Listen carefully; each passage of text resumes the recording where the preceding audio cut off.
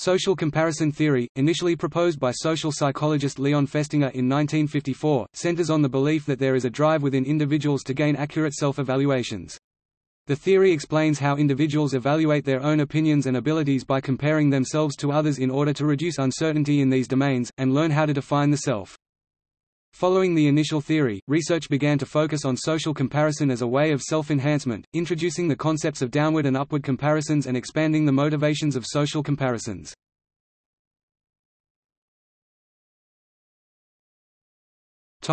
Initial framework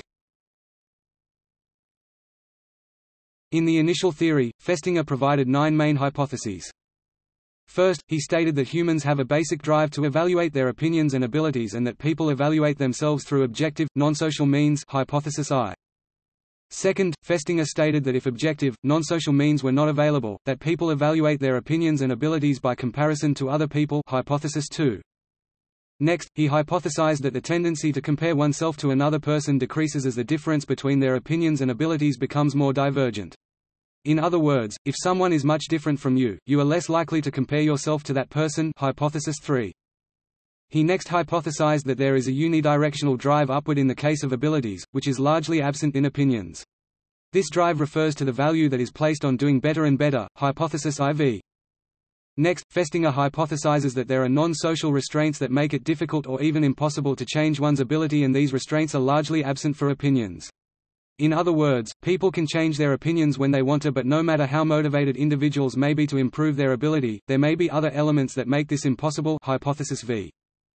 Festinger goes on to hypothesize that the cessation of comparison with others is accompanied by hostility or derogation to the extent that continued comparison with those persons implies unpleasant consequences hypothesis VI. Next, any factors which increase the importance of some particular group as a comparison group from some particular opinion or ability will increase the pressure toward uniformity concerning that ability or opinion within that group. If discrepancies arise between the evaluator and comparison group there is a tendency to reduce the divergence by either attempting to persuade others, or changing their personal views to attain uniformity.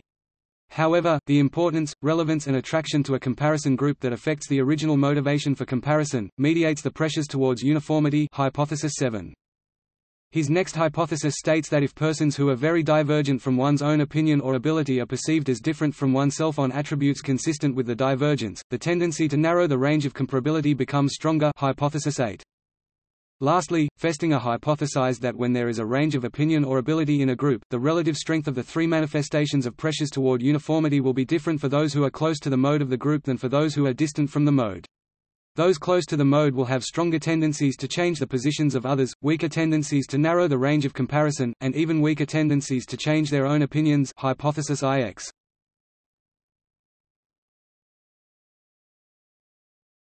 Topic: Theoretical advances. Since its inception, the initial framework has undergone several advances. Key among these are developments in understanding the motivations that underlie social comparisons, and the particular types of social comparisons that are made. Motives that are relevant to social comparison include self-enhancement, maintenance of a positive self-evaluation, components of attributions and validation, and the avoidance of closure. While there have been changes in Festinger's original concept, many fundamental aspects remain, including the prevalence of the tendency towards social comparison and the general process that is social comparison.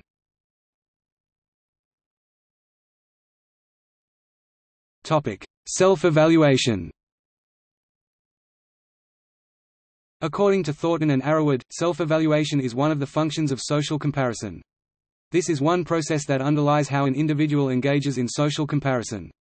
Each individual's specific goals will influence how they engage in social comparison.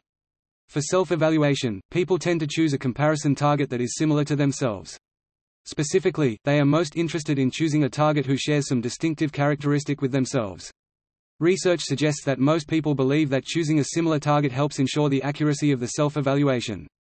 However, individuals do not always act as unbiased self-evaluators, and accurate self-evaluations may not be the primary goal of social comparison.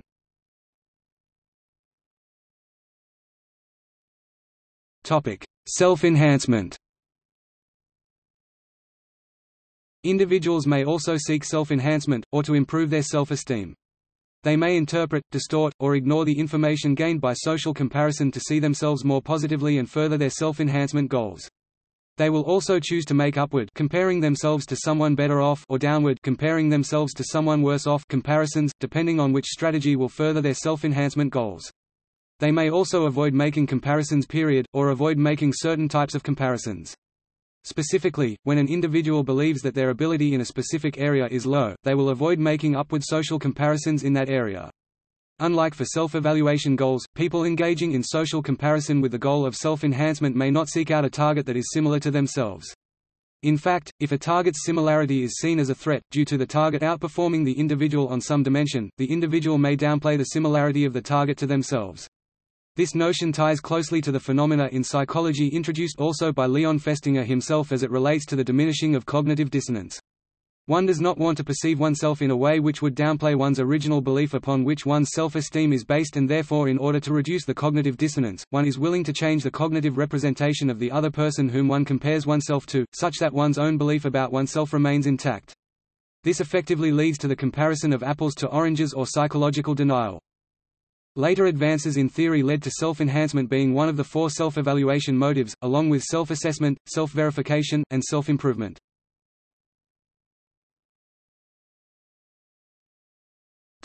Upward and downward social comparisons. Wills introduced the concept of downward comparison in 1981. Downward social comparison is a defensive tendency that is used as a means of self-evaluation, when a person looks to another individual or group that they consider to be worse off than themselves in order to feel better about their self or personal situation, they are making a downward social comparison. Research has suggested that social comparisons with others who are better off or superior, or upward comparisons, can lower self-regard, whereas downward comparisons can elevate self-regard. Downward comparison theory emphasizes the positive effects of comparisons in increasing one's subjective well-being. For example, it has been found that breast cancer patients made the majority of comparisons with patients less fortunate than themselves. Although social comparison research has suggested that upward comparisons can lower self-regard, Collins indicates that this is not always the case. Individuals make upward comparisons, whether consciously or subconsciously, when they compare themselves with an individual or comparison group that they perceive as superior or better than themselves in order to improve their views of self or to create a more positive perception of their personal reality.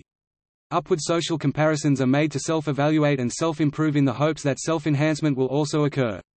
In an upward social comparison, people want to believe themselves to be part of the elite or superior, and make comparisons highlighting the similarities between themselves and the comparison group, unlike a downward social comparison, where similarities between individuals or groups are disassociated. It has also been suggested that upward comparisons may provide an inspiration to improve, and in one study it was found that while breast cancer patients made more downward comparisons, they showed a preference for information about more fortunate others. Another study indicated that people who were dieting often used upward social comparisons by posting pictures of thin thinner people on their refrigerators. These pictures served as not only a reminder of an individual's current weight, but also as an inspiration of a goal to be reached. In simple terms, downward social comparisons are more likely to make us feel better about ourselves, while upward social comparisons are more likely to motivate us to achieve more or reach higher.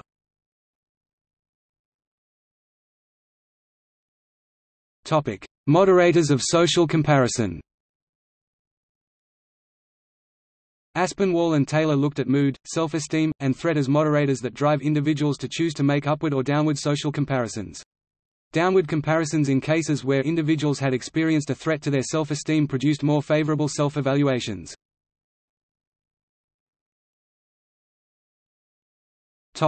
High self-esteem and social comparison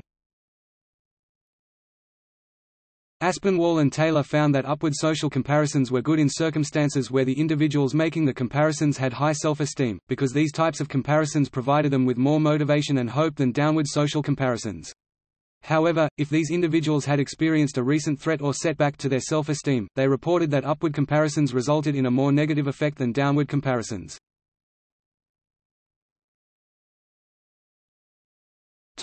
Low self-esteem and social comparison However, people with low self-esteem or people who are experiencing some sort of threat in their life such as doing poorly in school, or suffering from an illness tend to favor downward comparisons over upward comparisons. People with low self-esteem and negative affect improve their mood by making downward comparisons. Their mood does not improve as much as it would if they had high self-esteem. Even for people with low self-esteem, these downward social comparisons do improve their negative mood and allow them to feel hope and motivation for their future. Topic: Affect, mood and its effect on social comparison. Individuals who have a negative mood improve their mood by making upward social comparisons, regardless of their level of self-esteem. In addition, both individuals with high self-esteem and low self-esteem who are in a positive mood elevate their mood further by making upward comparisons. However, for those who have recently experienced a threat to their self-esteem or a setback in their life, making upward social comparisons instead of downward social comparisons results in a more negative effect. Self-esteem and existence of a threat or setback in an individual's life are two moderators of their response to upward or downward comparisons.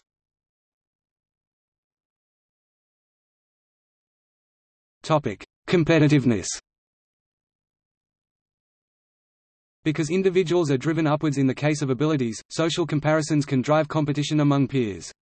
In this regard, the psychological significance of a comparison depends on the social status of an individual, and the context in which their abilities are being evaluated.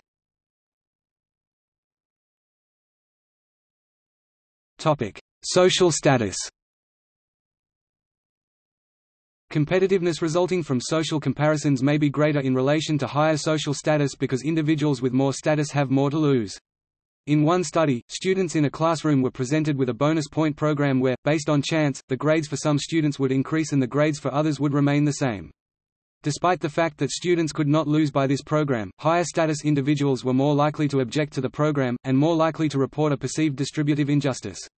It was suggested that this was a cognitive manifestation of an aversion to downward mobility, which has more psychological significance when an individual has more status.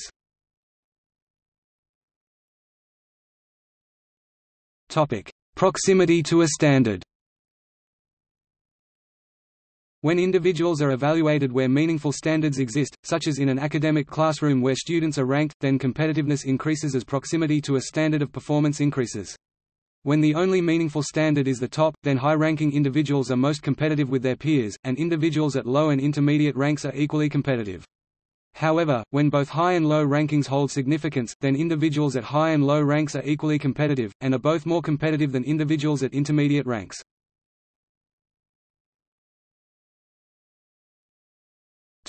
Models of social comparison Several models have been introduced to social comparison, including the Self-Evaluation Maintenance Model SEM, Proxy Model, the Triadic Model and the Three Selves Model.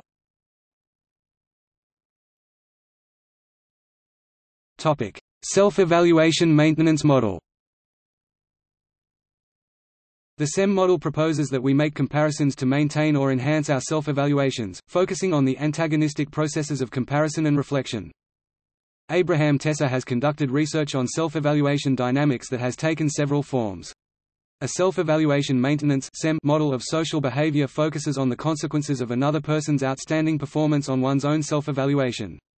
It sketches out some conditions under which the other's good performance bolsters self-evaluation, i.e., basking in reflected glory, and conditions under which it threatens self-evaluation through a comparison process.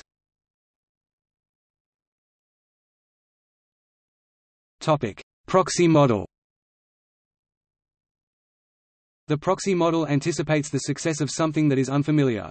The model proposes that if a person is successful or familiar with a task, then he or she would also be successful at a new similar task. The proxy is evaluated based on ability and is concerned with the question, "Can I do X?" A proxy's comparison is based previous attributes. The opinion of the comparer and whether the proxy exerted maximum effort on a preliminary task are variables influencing his or her opinion.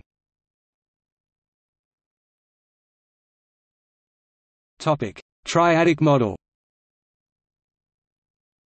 The triadic model builds on the attribution elements of social comparison, proposing that opinions of social comparison are best considered in terms of three different evaluative questions: preference assessment, i.e., do I like X?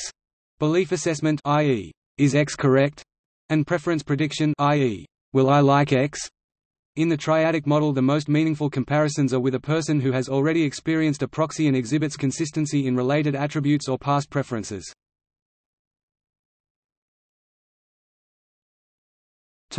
Three selves model The three selves model proposes that social comparison theory is a combination of two different theories. One theory is developed around motivation and the factors that influence the type of social comparison information people seek from their environment and the second is about self-evaluation and the factors that influence the effects of social comparisons on the judgments of self. While there has been much research in the area of comparison motives, there has been little in the area of comparative evaluation. Explaining that the self is conceived as interrelated conceptions accessible depending upon current judgment context and taking a cue from social cognitive theory, this model examines the assimilation effect and distinguishes three classes of working self-concept ideas, individual selves, possible selves and collective selves.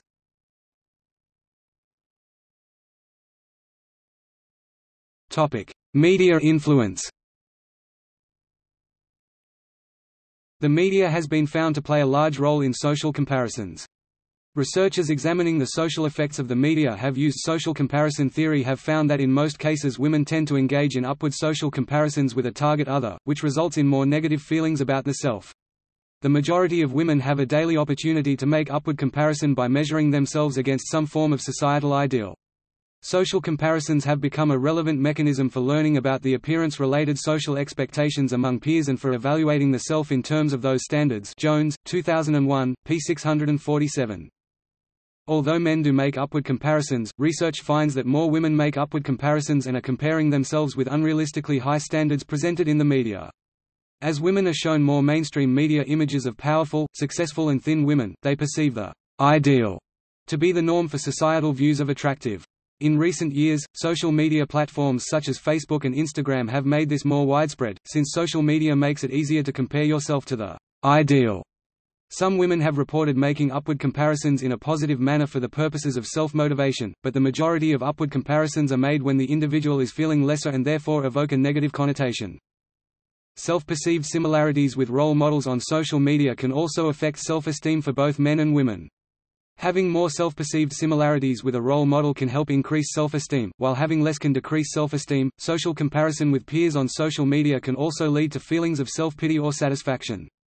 The desire for social comparison can cause FOMO and compulsive checking of social media sites.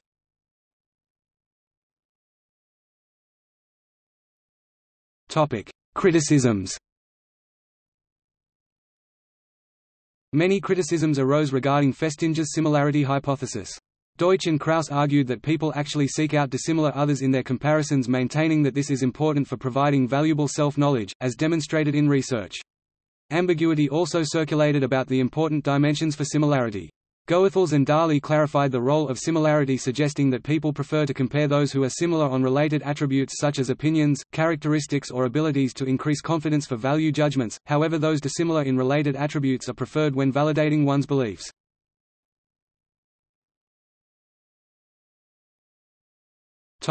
See also Frog pond effect